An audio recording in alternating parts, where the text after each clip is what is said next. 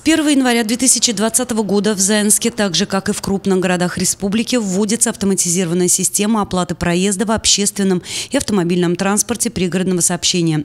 Эту карту сможет приобрести любой пассажир в двух точках Заинска. Определенная категория населения сейчас пользуется социальным проездным.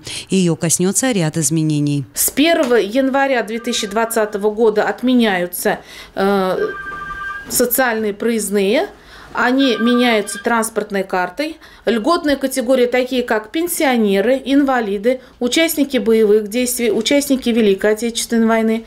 Все э, льготные категории населения, которые есть в Заинском муниципальном районе, они могут обратиться к нам – Электронный единый именной социальный проездной билет, в народе транспортная карта, будет иного образца. Там расположится фото владельца. На карту через Акбарсбанк нужно вносить деньги и пользоваться ей на территории Заинского района и Республики Татарстан.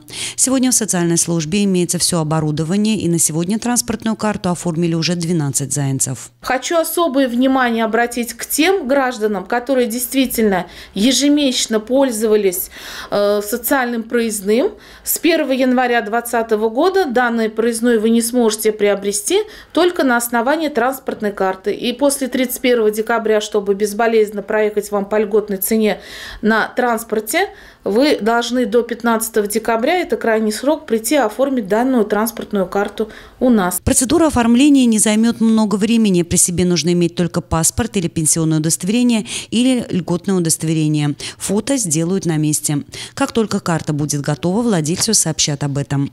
В Заинске эта система будет действовать с 1 января 2020 года. На сегодня 6 автобусов уже оборудованы системой для транспортной карты нового образца. На эти цели из местного бюджета было выделено полтора миллиона рублей. Елена Маврина, Денис Ипатов. Новости Татарстана.